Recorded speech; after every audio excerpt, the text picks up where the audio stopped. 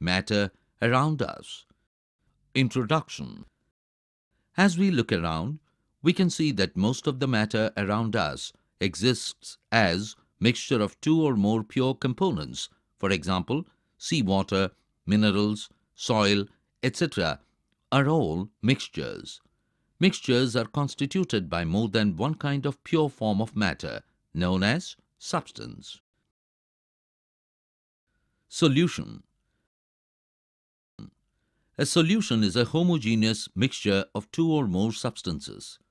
We come across various types of solutions in our daily life. Lemonade, soda water, etc. are all examples of solutions.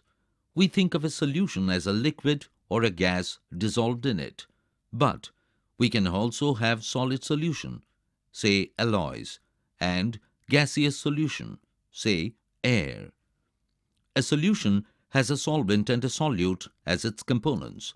The component of the solution that dissolves the other component in it is called the solvent. The component of the solution that is dissolved in the solvent is called the solute. Colloidal solution. Stir a small quantity of blue ink with a large quantity of water. The solution turns blue. Leave it aside without disturbing it. After some time, there is a deposit with a clear solution on top. Try filtering the solution. There is no residue left. Send a beam of light from a torch light through the solution. The path of the beam is seen in the solution. Ink is an example of a colloidal solution. The size of the solute particles is bigger than that in the true solution and hence it settles after some time. The solute, however, cannot be filtered by ordinary filter paper. The colloidal solution shows a property called Tyndall effect. The Tyndall effect is the scattering of light by colloidal particles. This accounts for the beam of light being visible in the ink solution. Types of colloids are shown in the table.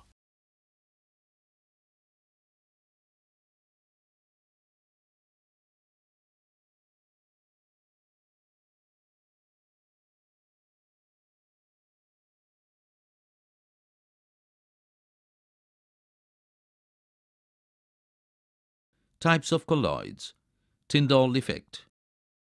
Tyndall effect can be observed when sunlight passes through the canopy of a dense forest. In the forest, mist contains tiny droplets of water, which acts as particles of colloid dispersed in air. Properties of colloids. A colloid is a heterogeneous mixture. The size of particles of a colloid is too small to be individually seen by naked eyes. Colloids are big enough to scatter a beam of light passing through it and make its path visible. They do not settle down when left undisturbed. That is, a colloid is quite stable. Obtaining colored component. Fill half a beaker with water. Put a watch glass on the mouth of the beaker. Put few drops of ink on the watch glass. Now start heating the beaker. We do not want to heat the ink directly. You will see that the evaporation is taking place from the watch glass. Observe carefully and record your observations. We find that it is a mixture of a dye in water. Thus, we can separate the volatile component, that is, the solvent, from its non-volatile solute by the method of evaporation. Separating components. Take some full cream milk in a vessel. Centrifuge it by using a centrifuging machine for 2 minutes. What do you observe on churning the milk? Explain how the separation of cream from milk takes place. The principle is that the denser particles are forced to the bottom and the lighter particles stay at the top when spun rapidly. Immiscible liquid separation. Let us try to separate kerosene oil from water using a separating funnel. Pour the mixture of kerosene oil and water in a separating funnel. Let it stand undisturbed for some time so that separate layers of oil and water are formed. Open the stopcock of the separating funnel and pour out the lower layer of water carefully. Close the stopcock of the separating funnel as the oil reaches the stopcock. The principle is that immiscible liquids separate out in layers depending on their densities. Separation of two miscible liquids. Let us try to separate acetone and water from their mixture. Take the mixture in a distillation flask, fit it with a thermometer, arrange the apparatus as shown in figure. Heat the mixture slowly, keeping a close watch at the thermometer. The acetone vaporizes, condenses in the condenser outlet. Water is left behind in the distillation flask. This method illustrates the separation of two miscible liquids by distillation. Fractional distillation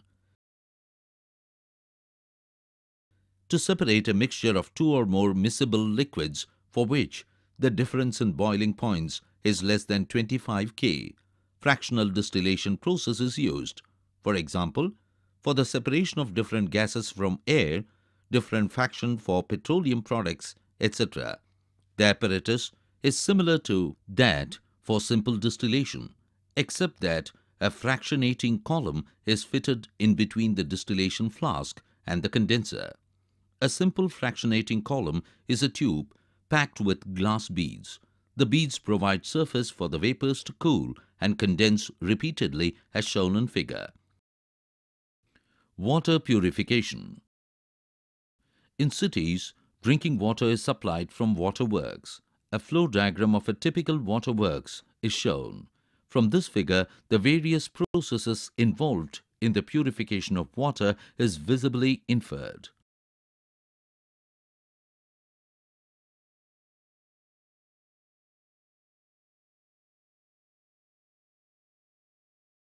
different gases from air. Air is a homogeneous mixture and can be separated into its components by fractional distillation. The flow diagram shows the steps of the process. If we want oxygen gas from air, we have to separate out all the other gases present in the air. The air is compressed by increasing the pressure and is then cooled by decreasing the temperature to get liquid air. The liquid air is allowed to warm up slowly in a fractional distillation column where gases get separated at different heights depending upon their boiling points. Physical and chemical changes. The interconversion of states is a physical change because these changes occur without a change in composition and no change in the chemical nature of the substance. Both water and cooking oil are liquids, but their chemical characteristics are different.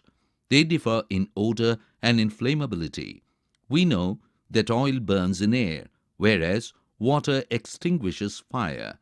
It is this chemical property of oil that makes it different from water. Burning is a chemical change. During this process, one substance reacts with another to undergo a change in chemical composition.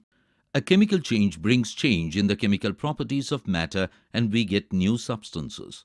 A chemical change is also called a chemical reaction.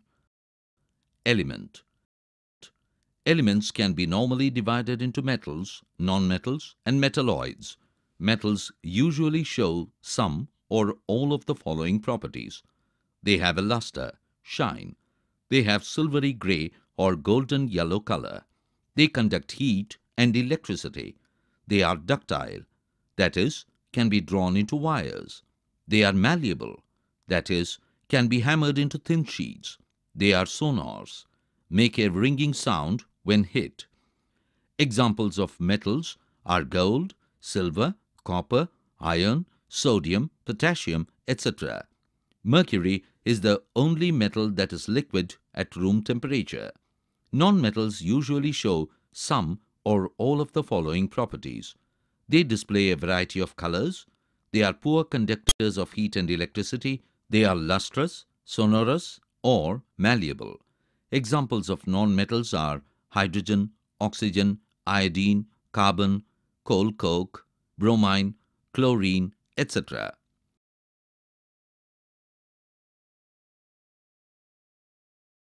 Compounds A compound is a substance composed of two or more elements chemically combined with one another in a fixed proportion. Difference between mixtures and compounds. Mixtures Elements or compounds just mix together to form a mixture and no new compound is formed. Compounds Elements react to form new compounds. A mixture has a variable composition. The composition of each new substance is always fixed. A mixture shows the properties of the constituent substance. The new substance has totally different properties. The constituents can be separated fairly easily by physical methods. The constituents can be separated only by chemical or electrochemical reaction.